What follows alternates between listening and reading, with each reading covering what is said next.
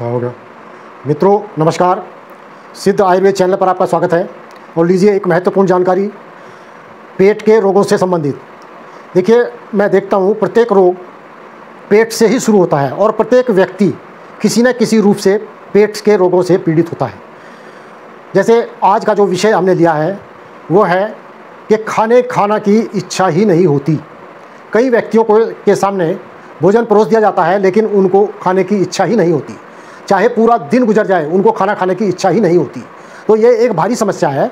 जब आप खाना खाएँगे ही नहीं तो आपको शरीर में लगेगा क्या?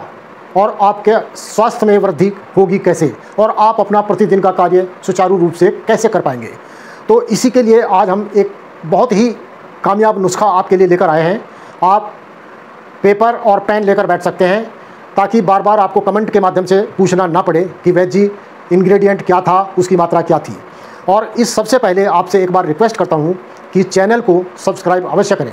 जो भाई बहन हमसे नए जुड़े हैं, वे चैनल को अवश्य सब्सक्राइब करें, ताकि बार बार उनको वीडियो के विषय में जानकारी प्राप्त करने की आवश्यकता ना हो। सबसे पहले ये सूचनाएँ आपके पास पहुंचेंगी।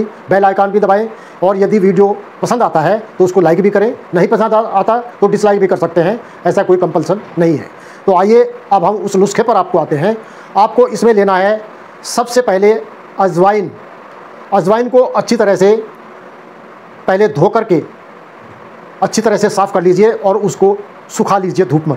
ये आपको लेना है 100 ग्राम अजवाइन 100 ग्राम। और इसके पश्चात दूसरा जो इंग्रेडिएंट है, वो है जीरा, सफ़ेद जीरा। सफ़ेद जीरा जो हमारी रसोई में काम आता है, छोंकने, भूनने के काम में आता है, इसको लेना है, इसको लेना है आपको 80 ग्राम। तो इसको हल्का सा किसी बर्तन में डालकर और हीट पर रख करके सेक लेना है। भूना नहीं है। हल्का सा सेक लेना है ताकि इसको कूटने पीसने में सरलता हो जाए और इसके जो आ, वो मात्रा बढ़ी बढ़ी रहेगी और कामयाब होगा ये। और तीसरा इंग्रेडिएंट है इसमें सेंधा नमक 20 ग्राम और काला नमक 20 ग्राम। ये दोनों नमक आपस में मिक्स कर लें। इनको आपस में कूट करके पीस करके बारीक कर लें और पाँच ग्राम हींग लेना है। बढ़िया हींग होना चाहिए, जिसमें अच्छी खुशबू हो और असली हींग हो।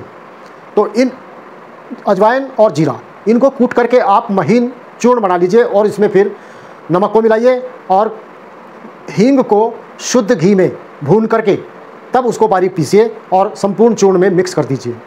अब इसकी मात्रा कितनी लेनी है? आप इसको खाना खाने से पहले भी ले सकते हैं और खाना खाने के पश्चात भी ले सकते हैं और मात्रा आयु अनुसार और स्थिति, रोग की स्थिति के अनुसार निर्धारित की जाती है।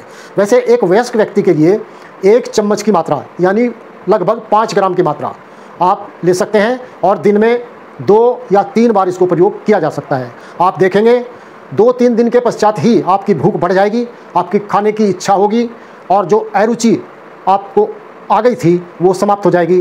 तो भाइयों बहनों, इस प्रकार से आप इस नुस्खे से लाभ उठा सकते हैं और आपका स्वास्थ्य में वृद्धि होगी।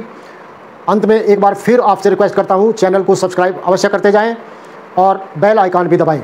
आपका बहुत बहुत धन्यवाद। नमस्कार।